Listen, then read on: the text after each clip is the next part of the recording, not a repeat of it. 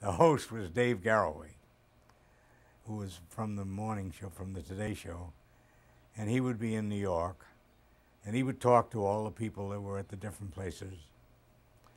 Live. And, and, and live, including during the rehearsal on a Saturday, we'd have to tap him on the shoulder and say, Dave, say hello to the mayor. Oh, uh, hello, Mayor El Batarzi. How you been? Good. kind of wake him up.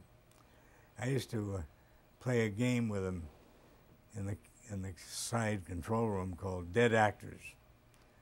You'd say uh, Ronald Colman, and I'd say somebody, and I'd keep getting one ahead of him until I'd give him Claude Gillingwater.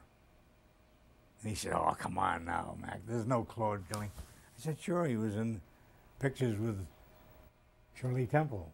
He was a, you know, always played the grandfather, you know, and I talked that way. And His teeth were bigger than his mouth, you know.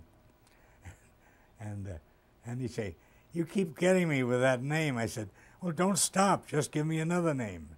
Don't stop to argue about there isn't any such person."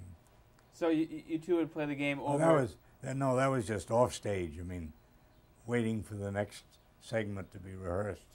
We'd rehearse it on a Saturday. For for someone who uh, doesn't know who Dave Garroway is. Describe him for us. Well, Dave Garroway was a tall fellow who was kind of the interlocutor on his own show, Garroway at Large, which he started in Chicago. There was the Today Show, the Tonight Show, and the Home Show. They were doing all kinds of things to promote those shows.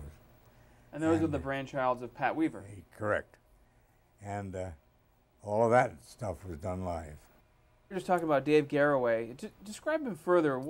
Um, what was his talents as a host? Uh, his, his personality. Well, he had a great way of uh, interviewing people and talking to them. And uh, I imagine ahead of time uh, he talked over what he was going to ask the person. But he had a, always had a twinkle and a happy expression on his face.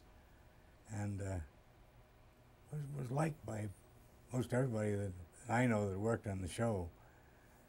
We never dreamt that he was going to have such a tragic ending there, but uh, well, you never know what's going on in somebody's mind or the things that have troubled them during the course of their life.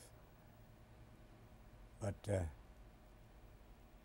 he brought a little bit of of what he did on Garroway at Large into the Today Show, and most of his uh, joking around and and laughing at things was had to do with J. Fred Muggs, the chimpanzee. You know, I don't know how he put up with him, but he did.